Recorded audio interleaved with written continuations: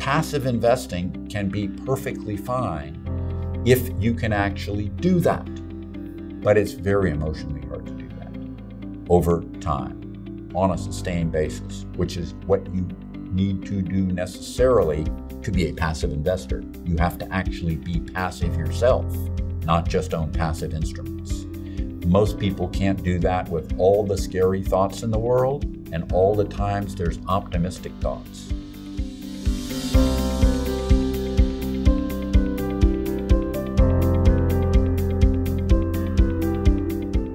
A lot of people will tell you that passive investing is good and easy. I'm going to tell you passive investing can be very good. It's really not so easy. And it looks easy, but there's a lot of things in life that look easy that actually aren't easy to do. And I'd like to take you through a little bit of that briefly, if I may. This comes directly out of my book, Debunkery, that had a little chapter on the fact that passive can be a fine thing to do, but it's not easy to do for almost anyone. Now, first, if you're being passive, what does that mean? It means basically buying a low cost index and then holding it.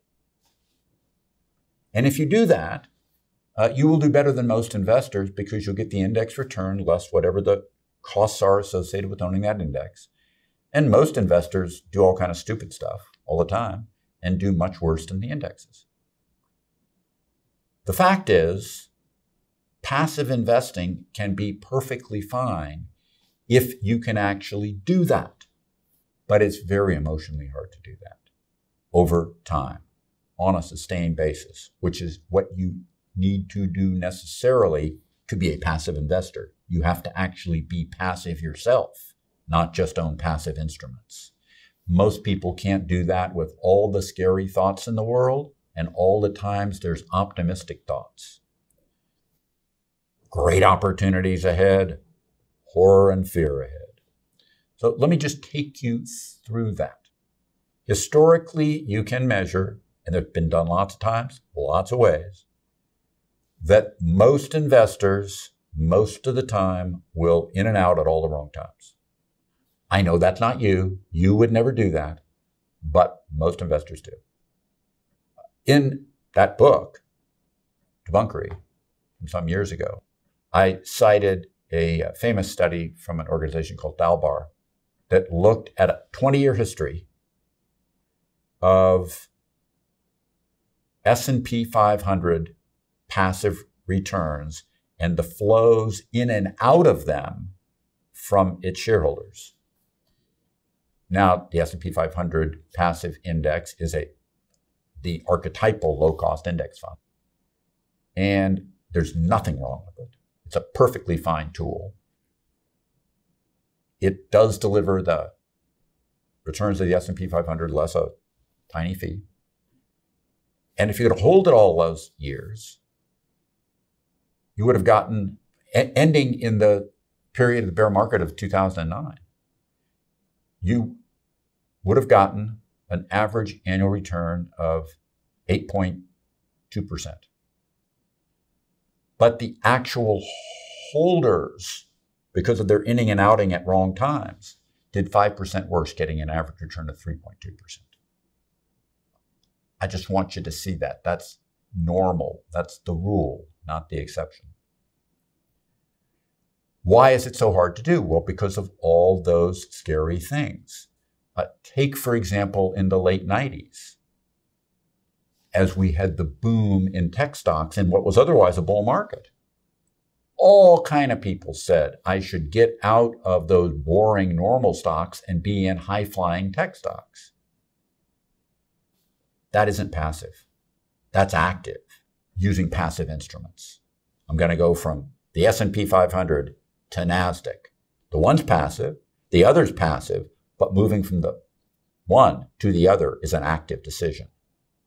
As you make that move, you got to say, Are you a great market timer? Because if you're a great market timer, you need no advice from me about pretty much anything. The fact of the matter is, there's today unlike when you've had the very first passive index funds in the late 1960s, early 1970s, a very wide array of passive vehicles you could choose from. And in all of those passive arrays, both mutual funds and ETFs, exchange traded funds, you have a wide array of costs because typically the more esoteric they are, the larger the cost associated with owning them. But you can do small cap, small cap value, foreign countries, this is, that's the other. There is such a tremendous tendency to buy a universe, and then when these categories lag, get out of them and get into ones that perform better just before those start to lag. And I know you would never do that, but most people do.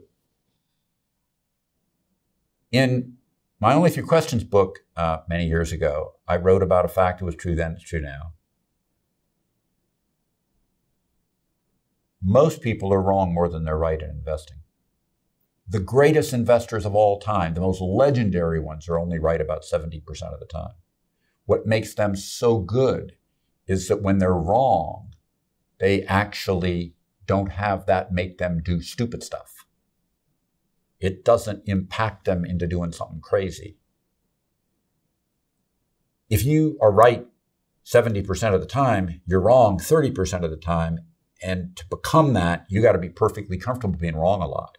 And that wrong tends to come in clumpy periods. So you're wrong and wrong again and wrong again and wrong again before you're right. And you got to not kind of be so upset being all that wrong that it drives you off into doing something. Most people don't have that fortitude. Most people end up doing something when the thing has been going against them for a little while. And that's why passive, which is a perfectly fine thing to do passive tools are perfectly fine, is very hard for people to do. You yourself have to set it and forget it for decades. Most people can't do that. Few people can. You, if you want to think about being a passive investor, which I think is a fine thing to think about, need to really look inside yourself and say, can I buy and just sit there and leave that thing alone and not even think about fiddling with it for 20 years? And then I suggest you do this deal. Find somebody that you trust completely spouse, sibling, best friend, I, don't care who it is. And tell them about all this. And then make yourself a solemn vow that somehow you associate with that passive instrument that you've invested in. And before you allow yourself to ever sell it, you have to go to them and say, Remember, I promised to you that I would not sell this for 20 years. Well, now I think things are different and I want to sell it. And what do you say to me? And you've already trained them to say, You're not going to sell it for 20 years. But you know what?